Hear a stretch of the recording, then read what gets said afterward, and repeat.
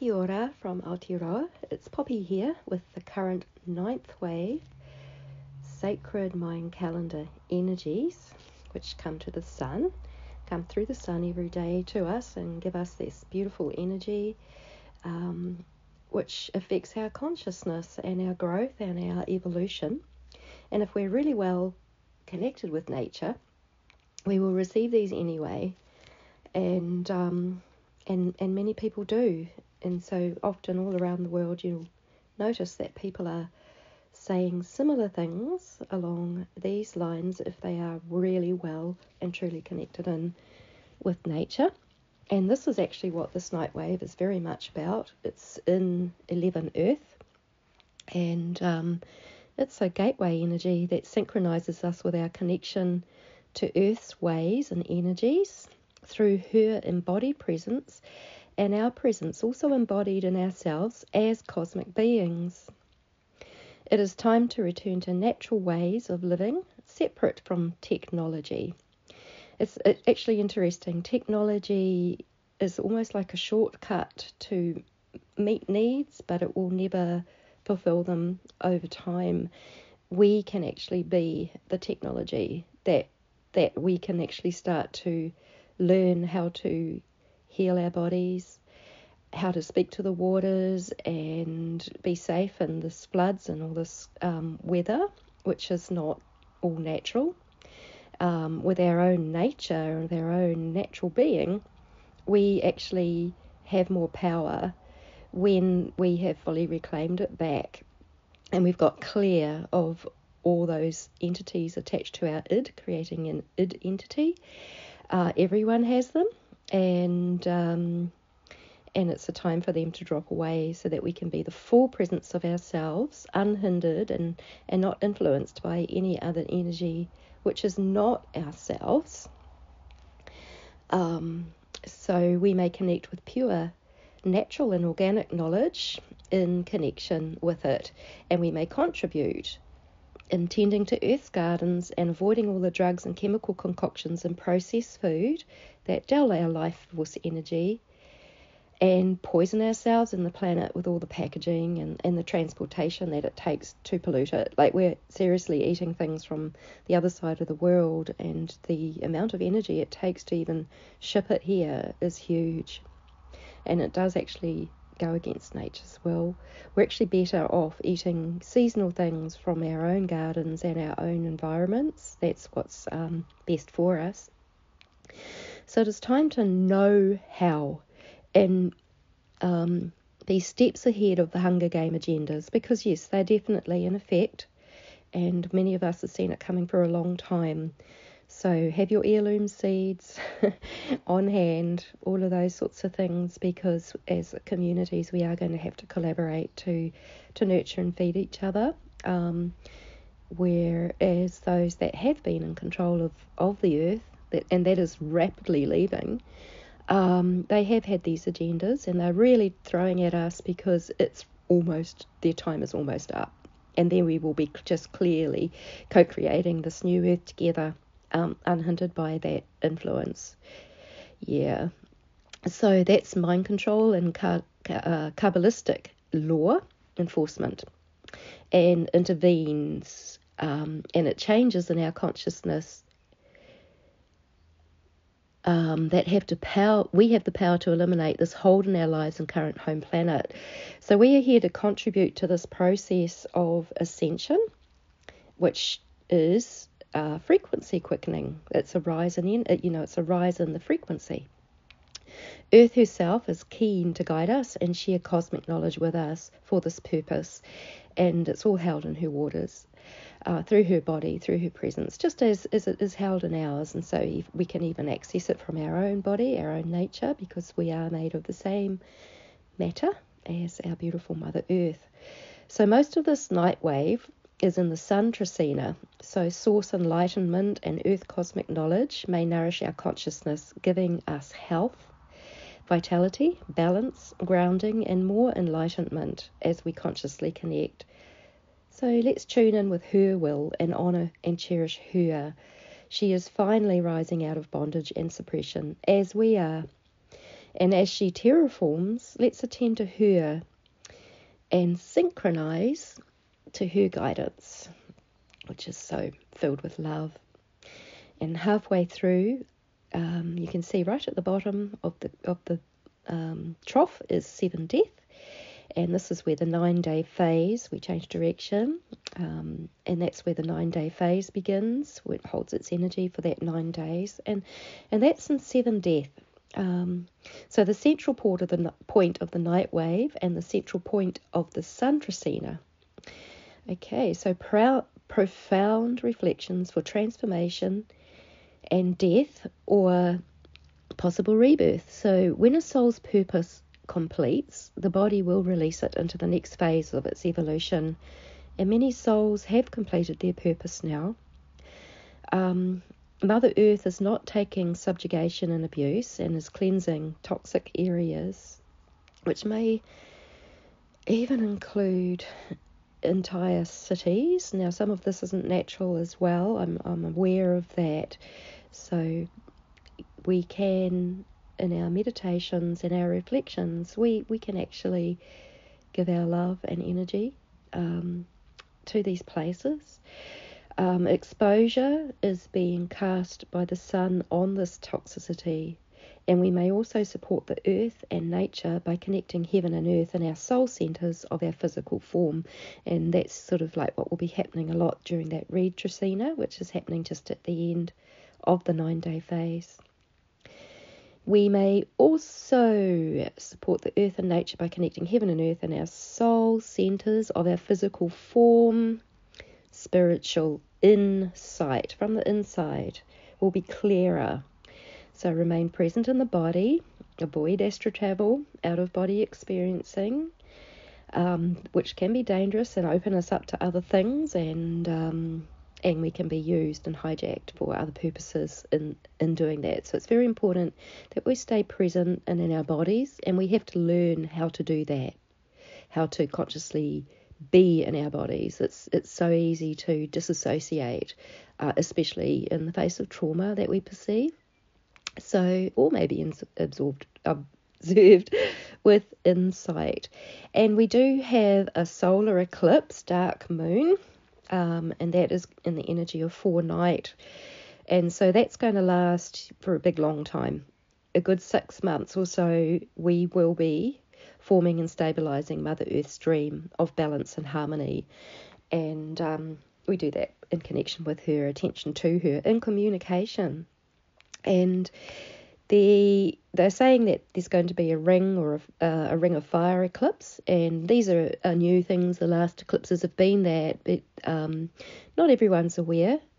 And um, I, well, I'm aware of it, and I've seen it, and um, many of my beautiful psychic friends who remote view and everything can see this quite clearly and, and a lot of people are seeing it and actual photos are that there is a second sun like behind our sun and so it makes the sun appear bigger than what it is so normally in an eclipse the, the moon will be in front of the sun and it, it will actually black it out completely but we will have this uh, fire halo looking thing around it now because we do have that second sun Nibiru or Planet X as it's more commonly known. so interesting with the whole X awareness. Um, yeah. So now just to break down each day. Um, I look at each day when I'm putting together the chart to get a, a real good overview of what's happening in the whole night wave.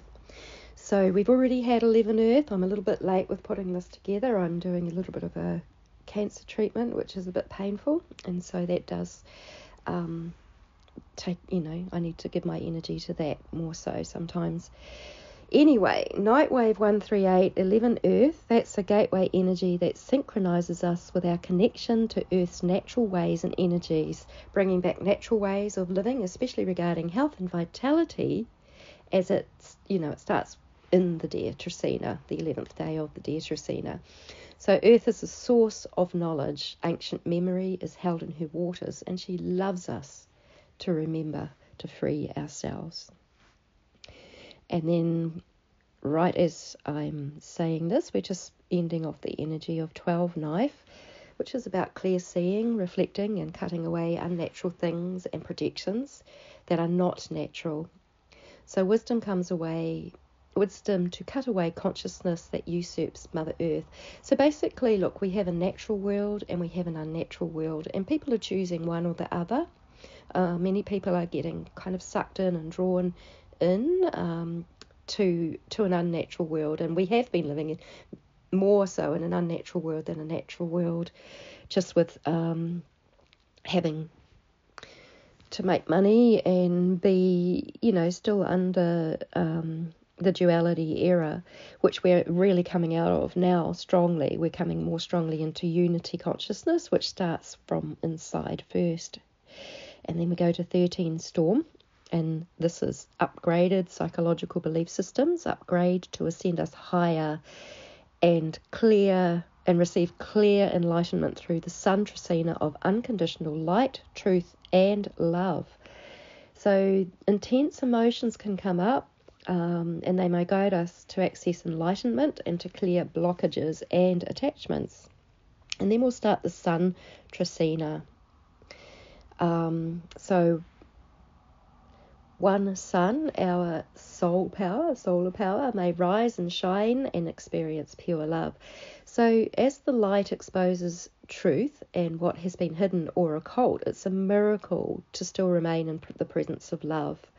It's because we no longer judge it, like we've seen it, we've observed it, and then we deal with it um, as we are enlightened to do so and so that way we, we can still experience um, love and joy and, and sometimes even bliss while there's chaos and terrible things that we would have once you know perceived happening around us. But remember we've been in millennia, in millennia of terrible things terrible terrible things that have been happening. So much of it's sort of um, being shown on the surface now. More people are starting to notice.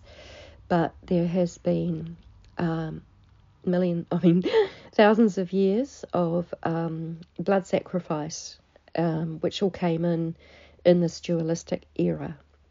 And then we go to two alligator. And this is birthing beyond polarity. So the two is like the polarity, um, the extremes, and we find unity in it. we actually transcend polarity. Birthing can be vulnerable, and ultimately it would be protected from outer harm. Alien, and so alien. When you look at the word lien, it means a binding contract, and a, a, beautiful friend of mine drew me to to this word. Um, alien actually when you break down that word, it's alien. And their technology is spelling, so of course, you know, it will come into different language. So, this technology surrounds everyone at present. Uh, so, nurturing this process in nature and finding ways to clear, to be clear of AI and nanobots and all of those things, um, and that technology may be wise, and to really get into our own natural, um, our own natural abilities, which um, are as we're claiming our energy back for where it's all been taken, um, where our souls were entangled with other other things that were taking our energy and we've been calling it all back. So that means that our energy will also come back to us and we will be empowered and we will be able to to youth to birth and and live in a very new reality as we collaborate together. And that then we have three wind and this is the breath of life activates us with honest communication the sun is enlightening our minds with source energies to aspire to naturally uh, be with gratitude. May we inspire in honesty. It's quite interesting because, like, almost like the flip side of gratitude is worship, and um, worship is actually something where you give energy to something, but our source energies do not need that energy, and they would rather that we worked with the energy that they um, they love to connect and share with us. And then we have the, the solar eclipse, um, and that's going to be the energy of 4 Night. Um, I'll just read that again. We give form to and add stability with Mother Earth's dream of all beings living abundantly. Like we have a frequency which is going to be our abundance. It's going to work directly with abundance because all of time is collapsing. It's culminated to now, due to the clearings many um, have had through lifetimes even through through many planets. Um, some people will understand that. Many beings have harmonized these and unified them within, having learned cosmic lessons. And this may be experienced beyond the false time matrix that still binds many. So we've got to get, you know, away. Ultimately, the false time construct is the alien technology. It is it is the calendar systems that are dominant in the earth and and all the way that it was created um, out of um, malevolent and beneficent gods, which brought in the whole good and bad um, psychology and and in duality things are very much about good and bad but in unity consciousness it's just like we are with what is in in observation and it's actually we're far more empowered this way to be observing um, and that means that that our power and ability and our frequency is what matters. Then we come to five seed, empowered to grow authentically by the source light through the sun. So the seed has all coding within it to break out of the darkness of the seed case and reach towards the sun. Yeah, it's almost like a lot of us, you know, I feel like it too. I felt like I was in the darkness um, most of my life, like in a seed case. And um, even in, med- in meditation, it was still possible to connect with the with the light frequencies. it's quite miraculous because I do believe that photons are on our DNA. The light is on our DNA. Sixth serpent, the flow of organic movement within the natural time space continuum. The, the flow of movement in the body causes our energy to flow freely. So, this could be a day of flow, but also physical flow, um, energy flow. And seven, death. That is the nine day phase. At the depth of the night wave, we experience the stillest place to reflect and transform by surrendering what no longer serves life. Many beings have served their purpose now and made a part, and these these are soul choices. So it's we are probably going to find the most ease if we honour those. I mean, it's very very sad when we lose people. Um, and you know we will just naturally be with that and and feel so these people who, who do choose, um, who have finished their life purpose, they may be born into another reality that serves their evolution. And their soul makes those choices for that, and that's their um, way, and it, it, we cannot impose on that. Soul splitting and soul shards, we call it back anything that is left out there in the field, anything that's got entangled out there, anything that is attached to to something. So the ability to check this out and see into the spirit world is, is enhanced in this energy. And then we come to eight, deer, integrating health and vitality, strengthening and stillness to fortify the self for endurance. We do need endurance in these times. That strength, that strength of the deer. Connection with Mother Earth balances and grounds our being. Gratitude is a pure and natural result of this connection. And of course, as I said before, worship is a whole different thing that is not natural at all. Um, nine star. Harmony may happen and it may even get us singing with rising frequencies once we adjust um, I do actually notice that every star star day, um, people can often feel quite shaken up because the frequency rises and we do have to adjust.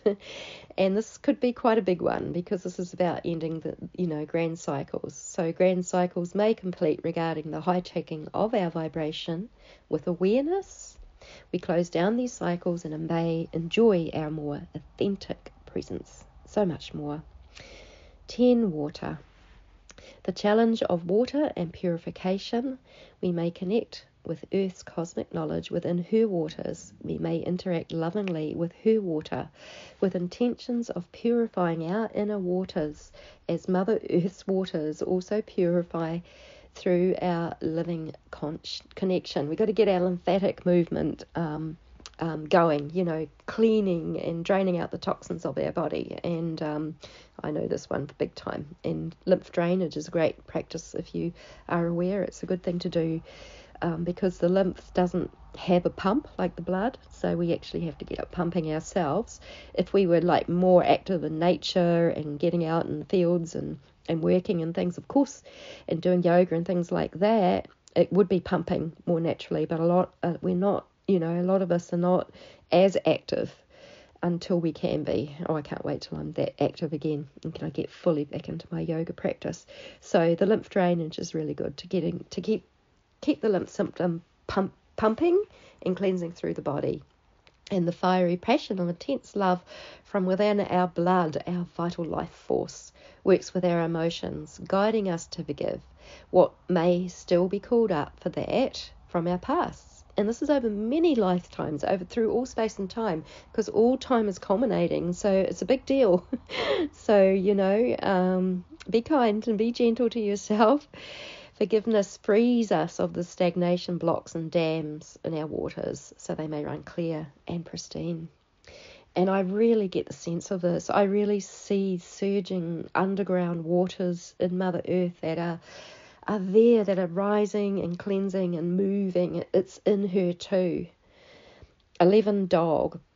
Having established the way to open the flow of true love, we may extend loyalty, justice, and soul tribe connection with others. This is because um, we are social beings, and a lack of, of social support and networking um, actually makes us sick. I know this. and, um, you know, I've had to do a lot of work on myself so that I can even attract that around me because um, because of just the extremes of, of, of my situation. And, um, you know, I have lovely people that, there's a few people that are part of my soul tribe. I appreciate them so much. 12 Monkey. Wisdom, intelligence, curiosity, and innocence merge, ripening our minds with sacred cosmic knowledge, holding it tightly, playfully observing our surroundings, upturning secrets and hidden stuff that may be dealt with.